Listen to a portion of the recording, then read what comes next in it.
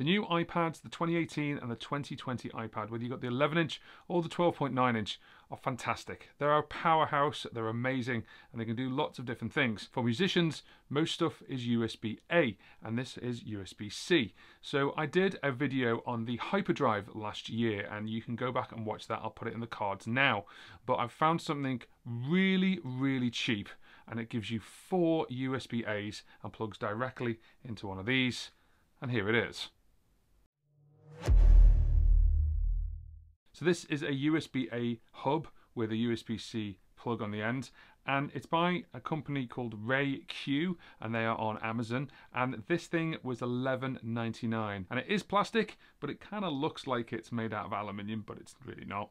But it's really really cheap. Now the reason why I'm sort of promoting this as it were I'm not sponsored by them or anything but the reason why I found this is because when I plugged it in I thought what can I do with it? You buy a new hard drive now you get the USB-C cable in the box. But with musical equipment and certainly for music recording a lot of audio interfaces are still USB-A, uh, keyboards are still USB-A, and only now we're going to start to see USB-C sort of dripping in, but not really. So if you've got existing equipment, you've made an investment in that equipment, you need to plug it into your device. So if you're recording into something like GarageBand or anything else on the iPad, you need something like this. Now the hyperdrive that I did the video on, which I left in the cards, is fantastic, but it gives you one USB-A port. This gives you four USB-A ports connected to USB-C, and this thing is 12 pounds. And my audio interface is still USB-A and at the same time I've got a keyboard that I want to plug in which is also USB-A as well. So you can get a USB-C keyboard for this as in typing keyboard but my musical keyboard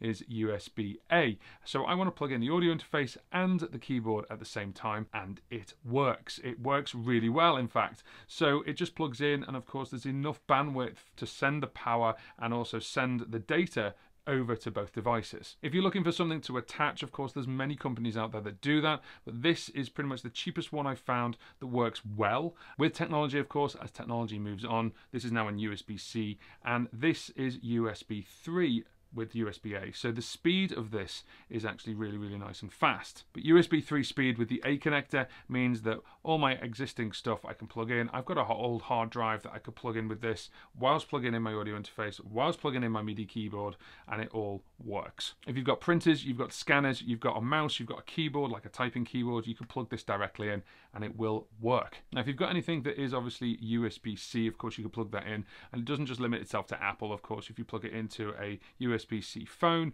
um, if you're plugging it into a MacBook, for example, or another laptop that has USB-C. And the other thing as well, plugging it in certainly to the iPad, there's no drivers to install. You just plug it in and nothing actually happens until you plug the other bit that goes into here. So if I plug in the MIDI keyboard, then it recognizes the keyboard. If I plug it in the Focusrite, it just recognizes the Focusrite. This has got quite a high rating in Amazon and loads of people have said it's just easy to set up and use, just plug in and play. It does exactly what it says on the tin and it's a really useful piece of kit. If you want to support me a little bit more, you can do. You can buy one of these. This is one of my t-shirts. This is the How Do You Loop t-shirt. If you're a looper or you're into loop music, then this is a t-shirt for you. And I've set that up on Teespring and I'll put the links in the description box below. I hope you found the content of this video useful and if you have, please give it a thumbs up. It just lets YouTube know that you like it and it gives it out to more people and it helps me and helps the channel grow. You can also support me by buying me a coffee at buymeacoffee.com and the links for that are in the description box as well. Thank you very much for watching.